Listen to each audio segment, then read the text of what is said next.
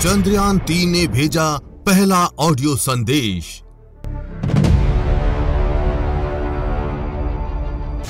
चाँद पर पहुँचते ही ये बोला, चंद्रयान तीन। इसरो ने ट्वीट कर दी जानकारी।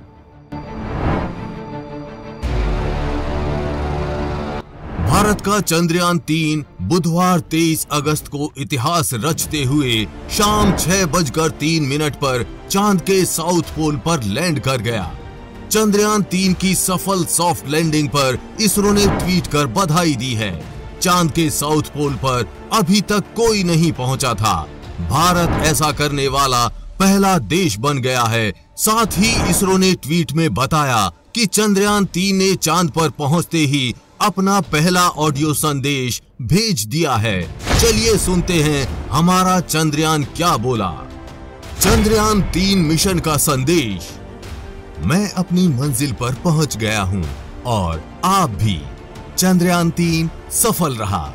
चंद्रमा पर सफल लैंडिंग के लिए पूरे देश को बधाई।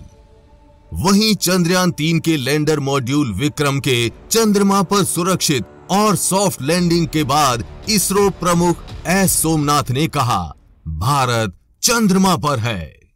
वहीं पीएम मोदी ने कहा कि इससे पहले कोई भी देश चंद्रमा के दक्षिणी ध्रुव तक नहीं पहुँचा है। हमारे वैज्ञानिकों की मेहनत से हम वहाँ तक पहुँचे हैं। भारत का सफल चंद्रमा मिशन अकेले भारत का नहीं है, ये सफलता पूरी मानवता की है। कभी कहा जाता था चंदा मामा बहुत दूर के हैं। अब एक दिन वो भी आएगा, जब बच्चे कहा करेंगे, चंदा मामा बस एक टूर के हैं।